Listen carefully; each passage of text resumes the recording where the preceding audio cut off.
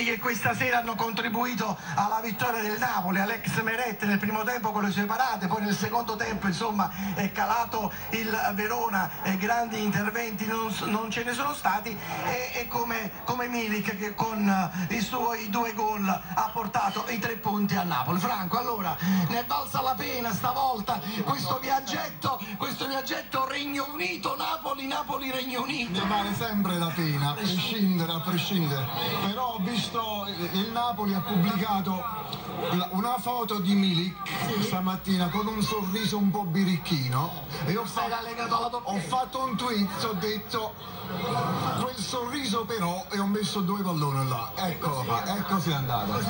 Allora, Mici, Mici, Milik, ho ritrovato Milik. Io avevo previsto la doppietta, la doppietta è stata ragazzi, Milik è l'attaccante giusto per il Napoli, bisogna crederci e aspettare il giocatore e l'ha dimostrato stasera. E anche un grande Meret, no? Nel primo tempo. Io l'ho detto in tempi non sospetti, un giocatore, un, un giocatore che tocca tre palloni, fa due gol è un grande giocatore. L'ho detto in tempi meretta assoluta sicurezza. Bel Napoli. Allora, che ha fatto sto Napoli? Si è ripreso o non si è ripreso? Troppi, troppi entusiasmi attorno a Milik, eh, signori miei, ha fatto due gol contro il Verona, andiamo piano. Che, è, due gol contro il Verona che per amore, de, un, però per amore della verità, il Verona seconda difesa del campionato italiano. È un buon, gioca, è un buon, gioca, è un buon giocatore, ma non ci esaltiamo. Noi siamo abituati ad altro per vincere qualcosa.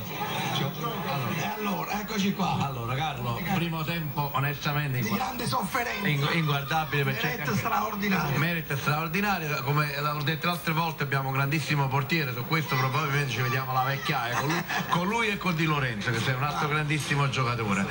Però io devo dire, delle tre partite che abbiamo fatto qua, Cagliari, Brescia e Verona, questa è la partita in cui sono più insoddisfatto, nonostante che abbiamo vinto 2-0, noi questo lo dobbiamo dire. Uh, abbiamo sempre la sensazione che quando scendono le squadre sono pericolose e questa è una brutta sensazione. Onestamente era parecchio che non la provavamo e forse qualcosa da mettere a posto c'è stato.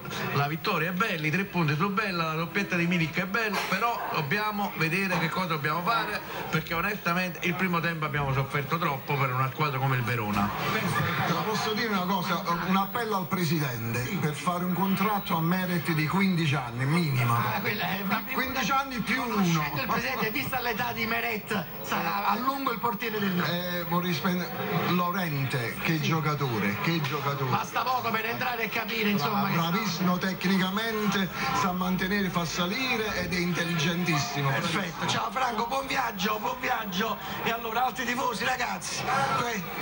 Allora, adesso no. Che dici? Tu sei un grandissimo. Allora. Meret e Milik, doppia M, sono abbastanza. Meravigliosi. Meret è stato spettacolare in quell'intervento, quella serie di interventi. E poi Milik finalmente si è tolto un po' di soddisfazione. Ci siamo ripresi definitivamente. Sì. Adesso andiamo con il Salisburgo e andiamo a vincere. Con la testa giusta. Bravo, che all'inizio eravamo partiti non bene, eh? Beh, assolutamente. Un po' in confusione. Un po' in confusione, è vero, è vero. Ciao, ciao. Allora facciamo. Ragazzi, oh, ci abbiamo fatto pure sta volta, è l'importante che. Meretta parato, Milik ha segnato. Meretta è il nuovo zoffo. È il nuovo zoffo, è il nuovo zoffo. Milik finalmente, oltre che in nazionale, pure con Finalmente fa gol anche con Napoli. Speriamo che continui così. Secondo voi è l'inizio di una ripresa anche mentale del Napoli? Io penso di sì, io penso di sì. Io penso di sì perché la scorsa volta abbiamo detto assieme che c'erano molte persone fuori forma, molti. Eh, mo, diciamo che l'organico c'è. E a Milik serviva fiducia. Soddisfatti? Benissimo. Benissimo. Arrivo da Cuneo. Da Cuneo? Sì. Il cuore azzurro? Con il cuore azzurro, azzurrissimo, guarda qua. Eh, come nasce questa passione per il eh, da piccolo ero. Ma ci sono parenti, parenti? No, no, nessuno, io parto al mattino e domattina riparto. Complimentissimo. Grazie. Una storia bellissima. Allora, contentissimo. contentissimo. L'importante è che abbiamo l'importante è il risultato, di vincere. Poi man mano, giusto, si riprendono. Va bene. Grazie. Allora ti, restituisco, ti restituisco la linea Lucio, naturalmente ci trasferiamo questa sera in sala stampa proprio per poter un po' dialogare insieme, quindi perché dalla sala stampa ci è concesso fare i collegamenti in attesa poi di sentire Juric, di sentire Carlo Ancelotti. E quindi stasera avremo modo anche di colloquiare un po' per analizzare eh, quello che è stato l'incontro eh, di stasera contro il Verona. Per il momento è tutto, a te la linea. che agiva diciamo, sulla corsia di sinistra, ha fatto molto bene, Younes credo che ha avuto ha fatto un po' fatica nella prima parte, la seconda l'ha fatta molto meglio, dopo ha preso un colpo, è uscito perché non si sentiva molto bene, comunque il suo apporto soprattutto nella seconda parte come quello di Insigne è cresciuto molto, tant'è che la squadra si è resa molto pericolosa nella seconda parte. Prego. Carlo, buonasera. Era la risposta che ti aspettavi dalla squadra e al- la seconda domanda, se mi permetti, è se hai chiamato già Ibrahimovic eh, oggi, stasera. No, io mi sono chiamato perché quando ho letto il giornale era l'una di notte in- a Los Angeles, allora aspetto adesso di chiamarlo, dopo sicuramente faremo un comunicato stampa Assolutamente. Con una bella per festa. sentire la risposta. Mi ricordo che quando ero Sky Sport 24 vidi l'arrivo suo con l'aereo privato al Milan, mi pare fosse il 2008-2009. Facciamo una cosa del genere. No, ma già ci, ci fa onore il fatto che lui possa avere così belle parole per questa città, per questo ambiente. È perfetto proprio, è come il calcio sui maccheroni, insomma, per dire. Insomma, adesso per il resto credo che la partita è stata sofferta la prima parte, avevamo ancora credo qualche scoria, non eravamo tanti- tanto sciolti, la seconda parte invece credo che l'abbiamo gestita molto bene. Buonasera mister, Eh, due domande rapidissime. La prima, eh, all'un play Fabian più avanzato da guastatore offensivo, infatti da lì che poi nasce anche l'azione del gol con il tocco per Cagliacon, chiaramente faccio riferimento al primo gol, è questo l'assetto migliore in mediana che in questo momento può riscontrare per il suo Napoli. Seconda, guardando un attimino alle palle inattive, il Verona ha avuto qualche occasione mh, diciamo in più di testa di forse quello che di lei che poteva immaginare, eh, qualche palla e qualche contrasto aereo non vinto in area di rigore in più. Sì, questo è vero, abbiamo sofferto, ma era sulle, sulle palle inattive per due ragioni. Uno, Veloso calcia molto bene, forse uno dei migliori tiratori che ha la Serie A. Secondo loro, di testa sono forti. E quindi era una cosa che avevamo preventivato. Devo dire che tutto sommato la difesa su quelle situazioni lì ha fatto bene. Il fatto di Allan Play ci sarebbe da spendere. Per me Allan è un grandissimo giocatore. Il fatto di dire che non può fare il play è riduttivo, perché Allan non è solo un incontrista, come, come Llorente non è solo un testatore. Insomma, detto questo, a me Allan piace molto in quella posizione lì, ma so benissimo che non ha la qualità che può avere Pirlo, che può avere Zielinski, però a noi ci serve lì. Poi la costruzione del gioco non dipende solo da un giocatore, talvolta ci sono giocatori che sono marcati e talvolta il regista diventa il giocatore che è libero sul campo. Succede molto spesso che tante volte abbiamo la superiorità sui difensori. Allora ecco lì che il difensore diventa in quel momento il regista della squadra. Corriere della Sera. Mister, la terza gara in cui non, non subite gol non accadeva da metà febbraio. Che valore ha questo dato per la squadra in vista anche dei prossimi impegni? No, è importante, anche se, come ho detto, perché soprattutto considerato l'inizio abbiamo trovato molto in fretta la solidità, questo certamente legato al fatto che in questa partita Naretta ha fatto molto bene la prima parte, poi dopo il resto della squadra è stato compatto, ordinato per tutta la seconda parte. Prendere pochi gol è molto importante anche perché te ne servono meno per vincere le partite. Mister, buonasera. Lei prima ha parlato di costruzione del gioco, ecco, soprattutto sul primo passaggio in uscita. È quello il segreto, perché poi quando riuscite ad uscire bene dall'area di rigore, l'azione si sviluppa in maniera esemplare. È, è là che quella può essere un aspetto su cui la squadra può migliorare ancora. Beh, lo, lo stiamo provando anche se oggi forse è stata da quel punto di vista lì eh, la partita meno brillante. Abbiamo faticato perché, perché il Verona ha pressato molto alto, molto, era una partita che si è giocata molto sui duelli uno contro uno e allora abbiamo fatto un po' di più, più fatica, ma io credo che non dobbiamo prendere rischi se c'è la possibilità si gioca, altrimenti, come ho detto tante volte, non ci dobbiamo scandalizzare se qualche volta mettiamo la palla lunga.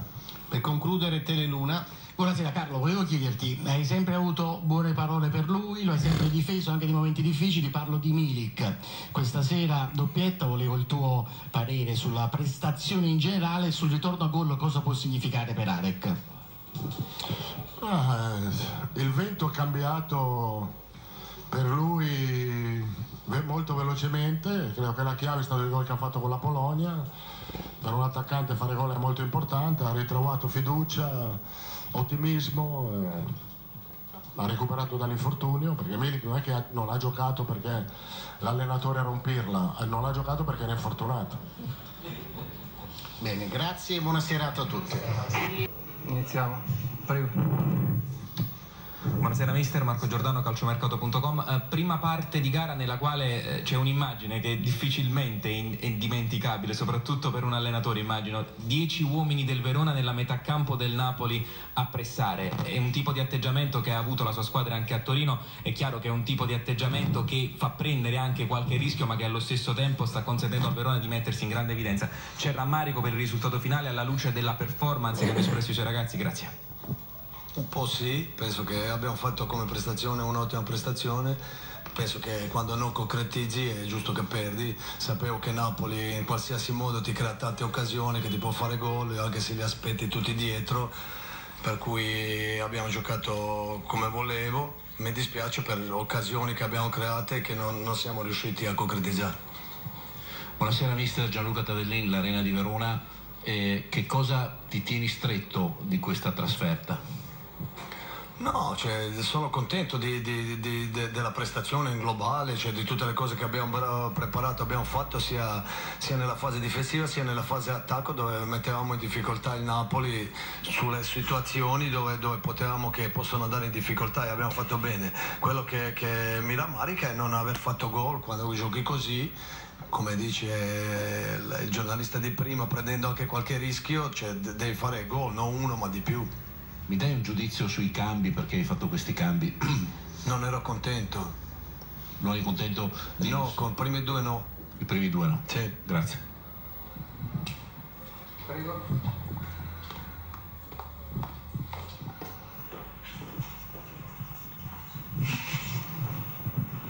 Mister Vincenzo Calamano, napolisoccer.net, le volevo chiedere, nella sua squadra c'è Jenny Tutino, se ci può dare un giudizio fin qui sul campionato del giocatore napoletano e di proprietà proprio del Napoli. No, eh, arriva da Serie B da un contesto completa- completamente diverso, eh, cioè penso che deve maturare più presto possibile. Il- Ha, ha doti buone, ottime, però deve, deve calarsi meglio nella, nella Serie A.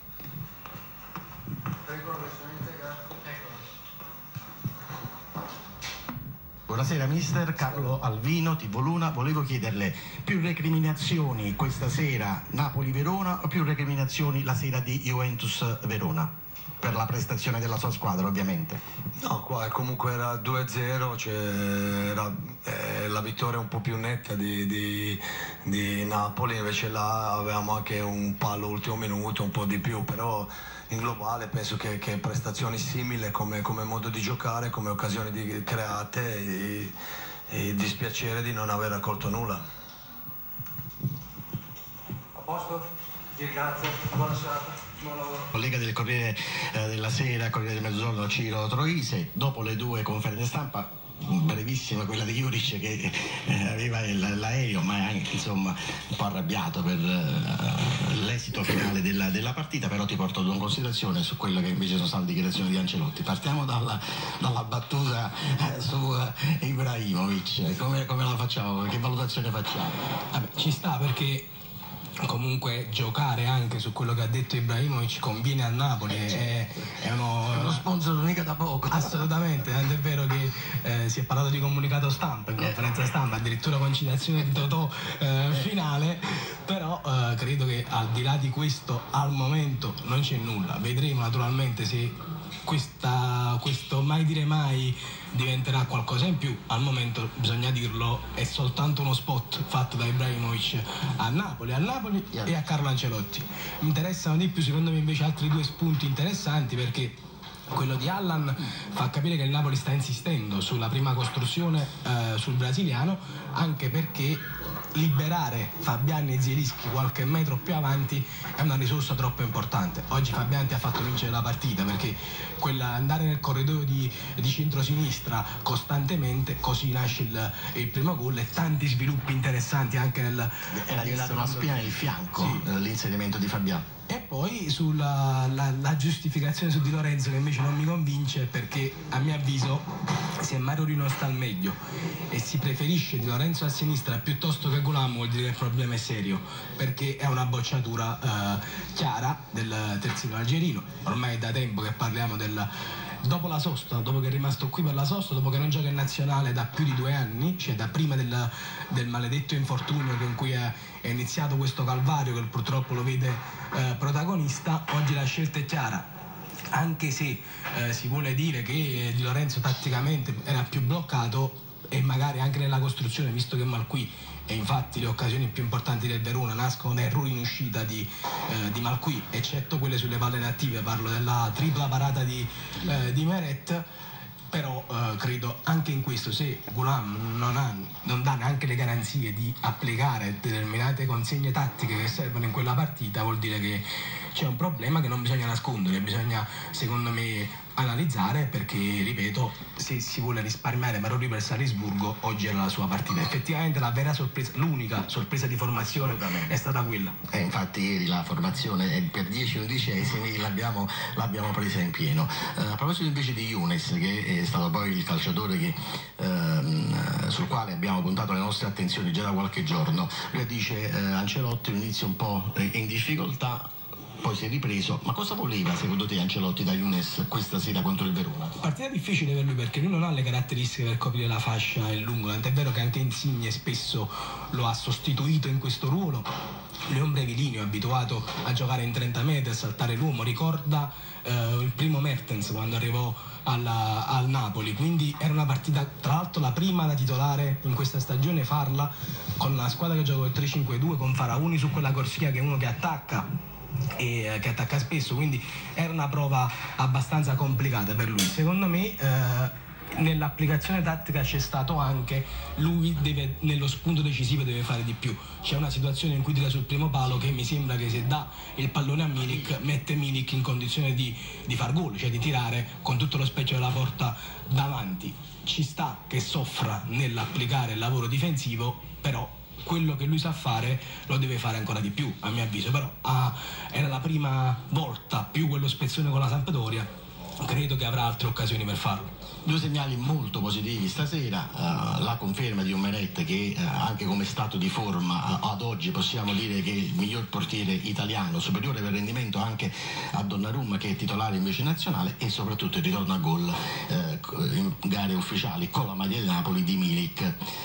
Questa doppietta dal punto di vista mm, mentale eh, cosa può cambiare nel, nel polacco Ciro? Eh, carica è tutto, l'ha detto Ancelotti. Il secondo gol, se non stai bene mentalmente non lo fai mai, perché significa andare a- a- ad anticipare l'avversario in condizioni anche acrobatiche complicate di sinistro, che è poi il suo piede principale. In altre occasioni il Milik sfiduciato, che in Polonia infatti va a fare interviste e dice è complicato riuscire a crescere se gioco poco, quel Milik lì non lo fa. Il Milik che fa gol con la Polonia, quel gol è benedetto per il Napoli a mio avviso, apre una nuova, una nuova stagione e poi naturalmente bisogna dare continuità a questo anche perché a differenza del- dell'anno scorso sostanzialmente c'è molta più concorrenza, c'è Llorente, c'è Lozano, quindi dovrà dare continuità nelle occasioni in cui sarà schierato perché l'anno scorso praticamente la coppia Milik-Mertens soprattutto dalla seconda parte della stagione in poi quella post Liverpool è stata quasi una consuetudine cosa che eh, naturalmente quest'anno vedremo di meno proprio perché eh, ci, sanno- ci sono tante bocche di fuoco da sfruttare basta pensare che c'è ancora da valorizzare un giocatore come Lozano Faccio l'ultima domanda ancora su Milik, questa doppietta può incidere anche sul discorso di eh, rinnovo contrattuale, può accelerare le cose, può servire per avvicinare ancora di più le, le parti, insomma eh, c'è un collegamento e un nesso tra la doppietta e quello che stanno facendo eh, i dirigenti del Napoli, l'entourage del polacco. Male non fa, questo è sicuro perché va ad alimentare anche la sua forza in sede contrattuale. Sappiamo che ha presentato delle richieste alte al Napoli di 3 milioni e mezzo di ingaggio di, di base fissa, una trattativa che va avanti già da, da qualche mese. Naturalmente non possiamo pensare che una doppietta possa spostare gli equilibri della trattativa, però nella quotidianità di questo confronto tra il Napoli e il suo entourage sicuramente far gol o non farlo sposta sicuramente gli equilibri visto che parliamo di un attaccante e non c'è nulla da non, non si può nascondere il fatto che il primo metro di valutazione degli attaccanti sono i gol poi si possono fare tutti i discorsi su E come costruisce il gioco A proposito di attaccanti, la rincorsa a Maradona si è fermata stasera sul palo, maledetto palo. Parlo di Mertens ovviamente. Assolutamente, Vabbè, avrà altre occasioni, mi auguro, eh. mi auguro che non abbia la sindrome di Hamsik, Eh, che se quanto tempo ci mise? due mesi e mezzo mi sembra per fare quel gol a Torino che eh, di- gli consentì di raggiungere eh, Diego Armando Maradona. Poi con la Sampdoria lo superò. Sì, e quindi credo che eh, naturalmente prima o poi lo farà. Eh, Meglio prima, ci sì, assolutamente perché si rischia di, di- nel calcio è fatto di queste cose, si rischia di, di in- far entrare nella testa delle persone che ti sta andando male. Quando pensi che ti sta andando male, poi la sorte non ti aiuta. Come il discorso di Milik, se pensi che ti sta andando male, tu su quel pallone non ti fiondi. Anche se, aperta e chiusa parentesi, in quel gol c'è anche un grande merito di Lorenzo Insigne perché quelle punizioni lì, forte e tese, rappresentano mezzo gol. E anche bravo Zilischi che se l'è andato a prendere quel calcio di punizione, eh, attenzione. Sì, Zielinski oggi è entrato bene, con la testa, subito in partita. Sì, molto bene, ha, ha aiutato il Napoli a costruire di più in quella zona di campo perché Younes stava cominciando a soffrire la fatica a cui non è eh, abituato e infatti è stato un cambio importante per il Napoli, ma anche Llorente quando è entrato eh, ha avuto anche delle situazioni in cui poteva far meglio sotto porta eh, nella gestione di certe eh, ripartenze, però il Napoli nel secondo tempo secondo me ha fatto, vabbè, eh, queste partite sono così, quando le sblocchi hai fatto metà del, eh, del lavoro e poi però eh, anche sul 2-0 l'unica cosa da sottolineare qualche rischio di troppo sulle palle inattive, anche se come diceva Ancelotti questi hanno un grande eh, battitore come, come Veluso e di testa sono una squadra fisicamente forte che eh, sul gioco aereo ha delle buone qualità. Grazie Ciro. Grazie a voi. E allora, Marco? Vediamo il Giordano e... Con Giordano, Marco, innanzitutto mi dai un segno più per il Napoli e un segno meno per il Napoli. Sul segno più a chi innanzitutto? I segni più sono diversi, però mm, mi piace molto soffermarmi sulla prova di Allan, perché come abbiamo chiesto anche a Carlo Ancelotti, mm, è un uomo che si sta calando meravigliosamente nella parte del regista che sa fare anche la prima uscita palla, naturalmente senza perdere le grandi qualità in fase di, imposta- di interdizione che sono proprie del Ma tu brasiliano. credi che lui abbia nelle corde... que- Ancelotti dice di sì, per l'amore di Dio. Tengo alla spiegazione di Ancelotti, se, se ci mettiamo a contrastare le spiegazioni di uomo che ha vinto no, attenzione, non voglio essere fraintesi, è un parere personale. eh. Ehm, diciamo che è sicuramente un aspetto che non era prevedibile nel breve periodo. Allan sta diventando comunque un uomo che sa far uscire il Napoli. Sono convinto che quando usciranno gli indici della velocità del possesso palla del Napoli saranno molto più alti questa sera, nonostante il Verona sia squadra che ti veniva a pressare altissimo, nonostante il Verona sia squadra che provava a impedirti di far girare rapidamente il pallone. Quindi sicuramente questo è un aspetto molto interessante. Se il Napoli è riuscito a trovare una chiave, soprattutto in certe partite, in partite come questa, per avere una maggiore rapidità, per innescare in maniera migliore i propri talenti offensivi, allora il Napoli ha risolto molti dei suoi problemi a livello diciamo di impostazione di gioco. Sulla fase difensiva c'è da registrare un dato, e anche questo è estremamente importante, altro segno più che probabilmente non è stato ancora ben sottolineato, per la prima volta, forse in maniera forse definitiva, abbiamo visto l'integrazione quasi perfetta di Koulibaly e Manolas. Questa sera è stata per la prima volta un'integrazione quasi perfetta, i due riuscivano anche a uscire palla al piede, il tempismo nelle uscite, nelle chiusure è stato brillante e quindi questo è sicuramente un aspetto da sottolineare. È chiaro che mh, Younes rimandiamo il giudizio, non ci prendiamo un giudizio immediato, a campo aperto non è proprio la partita di Younes, però ci rimandiamo il giudizio su Younes Malqui ovviamente la nota più stonata nella serata eh, del- della vittoria contro il Verona, le uscite non sono state positive, non è mai riuscito a chiudere con continuità, non ha trovato il sincronismo nella catena con Cagliacon, né tantomeno riusciva a ottenere il raddoppio in maniera precisa con Allan, insomma un Malqui che in vista di Salisburgo potrebbe essere uno di quelli che fa rotazione con Di Lorenzo che torna a destra e Mario Rui che gioca a sinistra. Altro aspetto che abbiamo sottolineato anche a Carlo Ancelotti che francamente ha destato un minimo di perplessità è quello legato alle palle inattive. Anche Salisburgo è formazione eh, molto fisica, molto tosta, che hanno dei piedi buoni, è chiaro che il Napoli sotto questo aspetto deve migliorare. L'ultima domanda te la faccio su Arek Milik. Noi spesso a Tiboluna eh, abbiamo eh, analizzato eh, le, partite di Milik. con rammarico, perché era un giocatore che ti dava l'impressione di mm, avere 90 e di, no- di non fare 91. È, è un giocatore di grande qualità. A livello mentale, la doppietta di stasera cosa può significare per il polacco? Non lo so, perché resta tra virgolette un punto interrogativo. In che senso? Ci prendiamo i due gol contro il Verona che sono assolutamente positivi e diventano fondamentali per la vittoria del Napoli. Ci prendiamo una performance vista da Milik, fatta da Milik, tornava, giostrava con i compagni, riusciva a dialogare, apriva il campo, insomma una performance di altissimo profilo, se non da migliore in campo, quasi da parte di Milik. È chiaro che adesso ci aspettiamo i gol di Milik nelle notte decisive. Ci aspettiamo per esempio un Milik che possa decidere un match di Champions di grande portata, come non è avvenuto lo scorso anno. Anfield magari. Magari ad Anfield, ma a me basterebbe contro il Salisburgo.